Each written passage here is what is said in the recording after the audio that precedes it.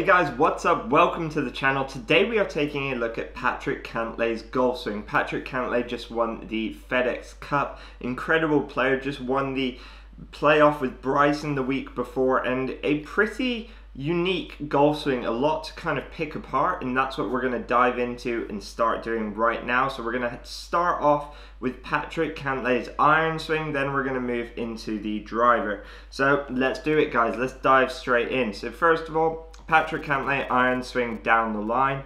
Setup, really, really good setup. With most of these tour players, setup is pretty perfect. With most amateurs, it's not, and that is quite a big difference. Probably, maybe even the biggest difference between professionals and amateurs is they are starting in the right position.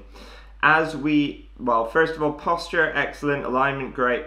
As we start to play this club back, we're going to pause this kind of parallel to the ground here.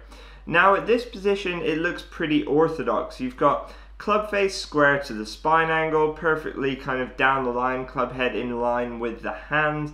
You know, nothing out of order there at all. Good one piece takeaway, starting to pivot and turn with the uh, with the hips and with the shoulders, keeping that nice triangle between the arms and shoulders.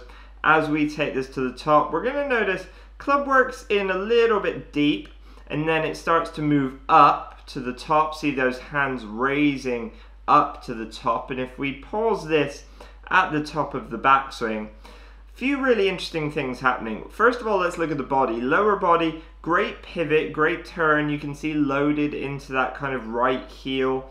Really good there. Kind of right hip has moved back deeply, quite nicely there, allowing him to have this big shoulder turn. You can see we look at his shoulders, they're actually almost pointed down at the ball. Now this is kind of what we want. We want, you know, that big coil up through the spine to have quite a fairly steep shoulder plane is a pretty good thing in your golf swing, especially with irons. And also if we look at the arm structure, pretty interesting arm structure. You can see the club itself is kind of down the line, if not verging a little bit on across the line, with a very square club face.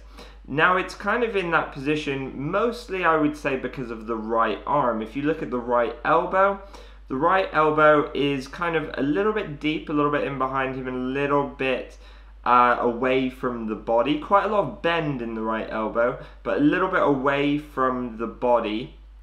And also, it's kind of he he has a lot of internal shoulder, shoulder rotation at this point, meaning he's getting that right elbow deep, and then on the way down he can externally rotate his right shoulder.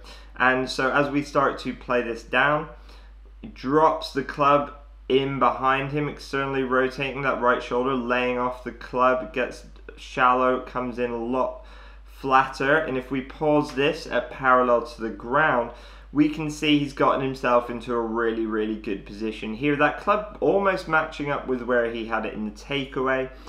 First of all, if we look at the lower body, great clearance already, great posture, great kind of forward bend in the hips here, putting pressure into the ground. You can see with a little bit of knee bend at this position.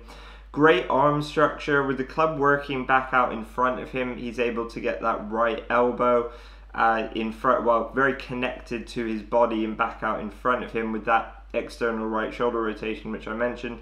The club is in a great position, club face matching his spine angle, his excellent posture, excellent spine angle, and as we play this through into impact, we'll pause it at impact, we can kind of see he comes through with a fairly uh, strong-ish club face, fairly, you know, not closed, but strong club face, and because of this he has to rotate and turn out of the way. And you can see that he is open with his hips and open with his shoulders whilst the arms still remain connected to the body. And we can see a lot of pressure going through his left side through the ball. You can see you know that right foot. He hasn't lifted his right heel up too much which is good. Putting a lot of pressure through the ball really compressing the ball nicely. If we play this through watch this. Watch the club face it's actually going to roll over pretty quickly as he extends the arms. That club face closes pretty quickly before kind of coming up over his left shoulder into that classic kind of Patrick Cantlay balanced finish position. Let's just play this back a few times for you guys, just uninterrupted. And if guys, if I have missed anything, do comment down below. Love to hear your thoughts. I think it, you know, he's obviously playing very, very well at the moment. I would love to know, do you think it's his long game or do you think it's his putting or short game or, you know, what are your opinions on the strengths of Patrick's game which enabled him to win the FedEx Cup? A few of my favourite things about Patrick's swing is his posture, um, his setup, kind of, I like the positions he gets the club into. Firstly, at parallel to the ground in the takeaway, and then back at parallel to the ground uh, in the downswing, and also at impact. Just excellent, excellent positions to get yourself into. That posture is really, really good there. Now, guys, let's take a look at Patrick Cantlay's iron swing from front on. Again, this is a really, really important angle to take a look at and understand Patrick Cantlay's golf swing. So here we have him at setup. Pretty neutral setup. One thing just draw your attention to, look at his left foot, look at how his left toes are flared out. This is to help you kind of rotate and clear your hips on the way through and also to take a little bit of pressure off that left knee. I highly recommend if you don't do this in your golf swing, do this with pretty much every club. Flare that left toe out to about 45 degrees um, most of the best players in the world do it, and it's something Tiger Woods does and has recommended a lot of people to do. Uh, so again, it's set up. He doesn't have much forward press. Hands are a little bit behind uh, kind of where you'd expect them to be. But as we take this club back, big wide takeaway. You know, we can see not too much early wrist set. If we play this all the way to the top, coiling up through his spine, we'll pause it at the top. Few really important things to understand in Patrick Cantlay's golf swing. First of all, I love this position in terms of his body. You can see that right hip has moved deep in behind him. Big, big shoulder turn, pretty flexible guy. Keeping the hands and arms in front of the chest, very wide golf swing. The wrists, uh, you know, there's about a 90 degree angle between the club shaft and his left arm. So big turn, using the ground, loaded up into that right glute, that right heel, the inside of the right foot, really good there. And then as we play this down, pretty simple golf swing. All he does is kind of turn out the way, stays pretty central. No great weight shift really in this golf swing. And as we come down, and we'll pause this at impact, we can see obviously a lot more shaft lean here than when he set this up at address and compressing that golf ball really, really, really nicely. And then if we play this through, extending the arms hard down the line, you can see that club face rolling over as he swings through to that classic balance finish with that weight coming now onto his left side. Again, let's just play this back for you guys. Let's play it back a few times. Again, guys, if there's anything I've missed, you think, from this position, let me know.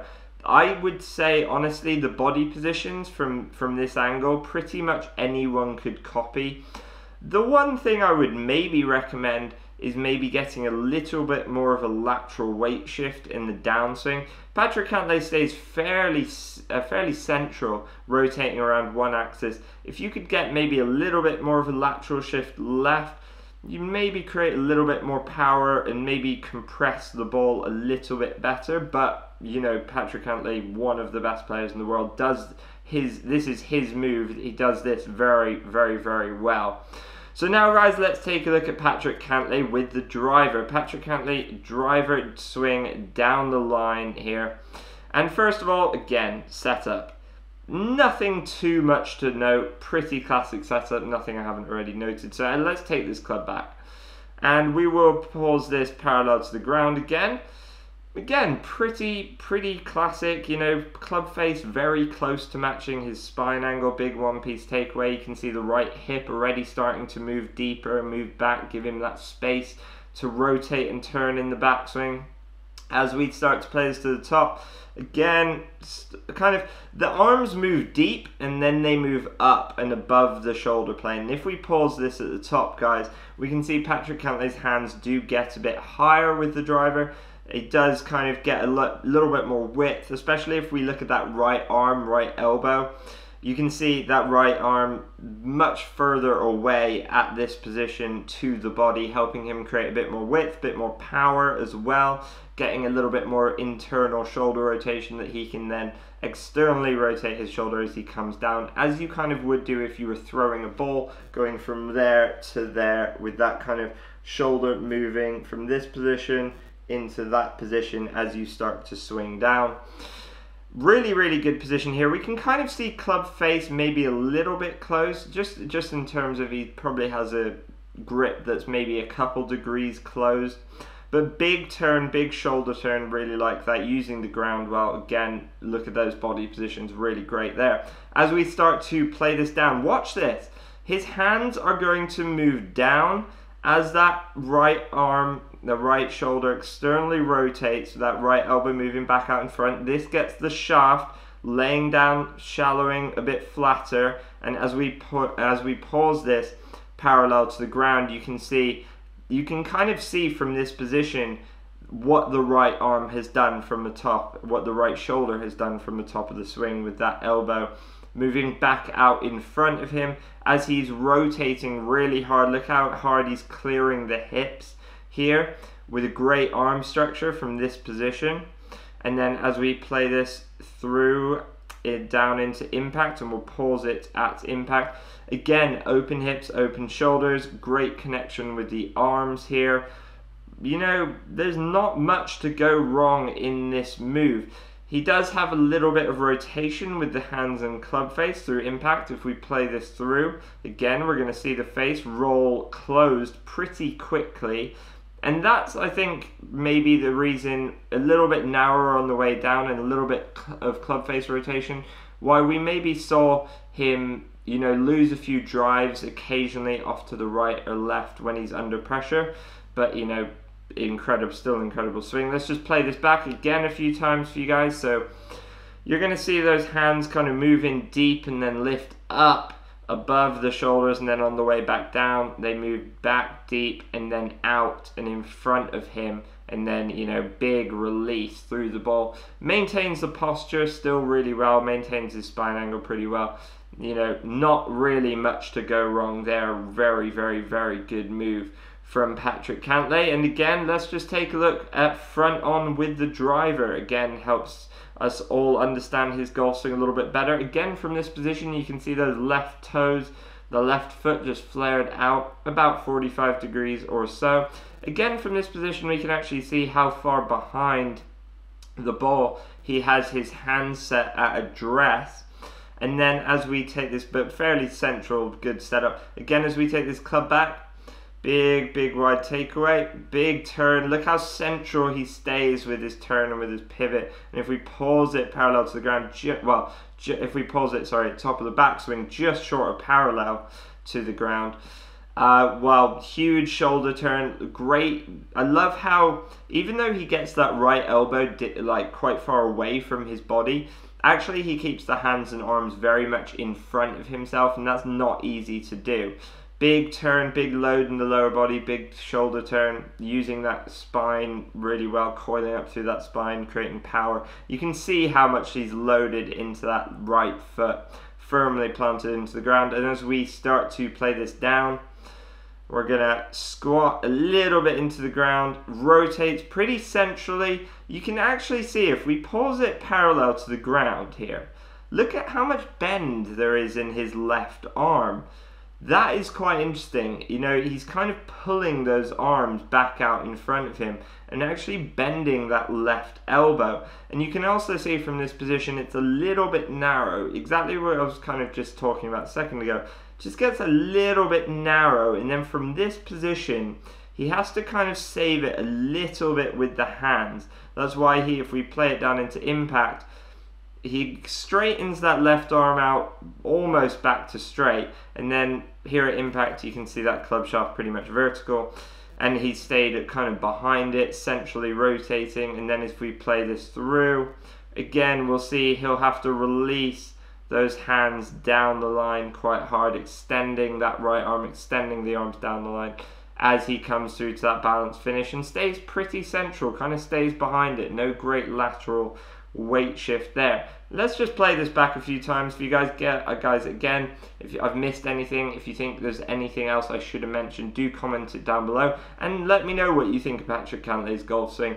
It's definitely his own golf swing. There's some really, really good things in there, as well as maybe a few little quirky things that he kind of makes work for himself. And that's probably an important lesson to understand in your own golf swing. We're, we're all going to have probably some, you know, little things in there that maybe aren't technically perfect, but we kind of can make them work with our own movement. They probably suit our body, they suit the way we move, etc., suit our biomechanics. And the last swing we'll look at is just Patrick Cantlay with a wedge swing, as you know, one of the best wedge players in the world here. And as we have this pause set up, again, nothing new to mention there really just a great neutral setup. As we play this back, again, we're going to see the kind of club working a little bit deep. I won't pause this, we'll just slowly play this to the top. It kind of works deep and up to the top. And again, if we pause this at the top, you can see how the hands are a little bit lower here with a bit more connection with the right arm than with the driver swing we just saw. And then as we start to play this down again, the arms, hands kind of drop down in front of him and as we pause this at impact or just after impact, again, still rotating quite a lot with the lower body, keeping great connection with the arms, and as we play this through, kind of holds on to that club face here actually, doesn't really let it release over. Almost a little bit of a chicken wing in that left arm as he comes through. You can see that kind of a bit of bend in that left arm as he kind of brings the club lower, holding on to that, almost a little bit Jordan Spieth-esque. Let's just play that back once or twice for you guys. And again, let me know what you think of this wedge shot here. Looks about 70, 80 yard shot maybe. Guys, that is Patrick Cantlay's golf swing. I've just dropped two other videos. If you want to see more swings of Patrick Cantlay's, check them out on my channel. I dropped a video uh, with all his driver swings and then another video with all his iron swings. There's loads more uh, golf swings in there from front on and down the line with drivers and irons. Feel free to check out those videos. Make sure you are subscribed to the channel. Next videos I'm planning to do is actually going to be Jon Rahm's golf swing. And I'm thinking maybe we take a look at Patrick Cantlay versus Jon Rahm. Some very, very, very different goal swings, very different mechanics there. Let me know if you guys want to see that video. I will see you in the next one, guys. As always, comment down below, subscribe, like this video. I reply to all your comments, and as always, guys, grip it and rip it.